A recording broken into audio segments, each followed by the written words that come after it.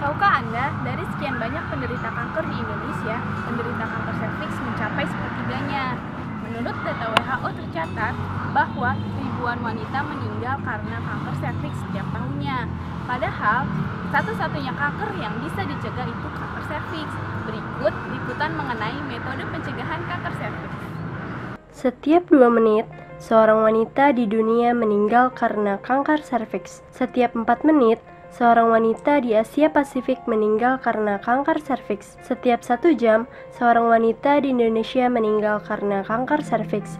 Itu menyebabkan negara Indonesia menjadi negara terbanyak penderita kanker serviks. Kanker serviks membutuhkan proses yang sangat panjang, yaitu antara 10 hingga 20 tahun untuk menjadi sebuah penyakit kanker yang pada mulanya dari sebuah infeksi. Oleh karena itu, saat tahap awal perkembangannya akan sulit untuk dideteksi. Tidak banyak wanita yang sadar akan pentingnya pencegahan kanker serviks sejak dini. Nggak tahu. Belum tahu sih, tapi kan gue denger-denger ada caranya kayak pap smear gitu. Tapi kan itu buat yang udah punya yang udah punya anak atau enggak yang udah nikah. Kalau kayak buat gue, gue gini kan masih virgin. Nah, itu gue belum tahu caranya gimana. Se udah pernah sih dengar, cuman belum melakukan pencegahan kanker serviks itu misalnya dengan vaksin, Hmm. lalu minum obat-obat kayak herbal gitu mencegah aja supaya kita nggak kena kanker serviks itu. Human Papilloma Virus atau HPV merupakan penyebab dari kanker serviks.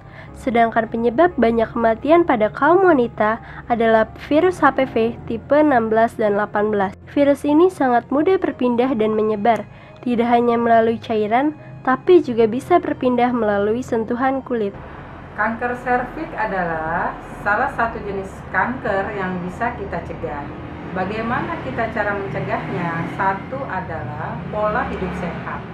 Banyak makan konsumsi buah-buahan, tidak merokok, terus tidak minum alkohol dan tidak melakukan hubungan seksual. Apabila kita melakukan hubungan seksual di bawah usia 17 itu juga faktor pencetus terjadinya kanker serviks. Bukan pada saat ini dia melakukan hubungan seksual langsung terjadi kanker, tapi setelah beberapa tahun kemudian bisa menjadi kanker serviks.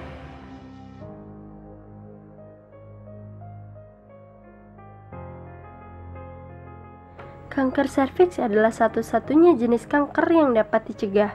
Kanker serviks dapat dicegah dengan penyuntikan vaksin HPV. Vaksin ini dapat menurunkan hingga 75% resiko terkena kanker serviks. Eh, pencegahan eh, kanker eh, rahim bisa dilakukan dengan penyuntikan eh, vaksinasi eh, HPV ya. Jadi pada saat wanita yang sudah menikah ya sebaiknya dilakukan penyuntikan vaksin ini. Bagaimana caranya? Sebelumnya kita lakukan pemeriksaan pap smear terlebih dahulu. Jadi kalau seandainya hasil pap smearnya negatif ya eh, langsung kita suntikan ya.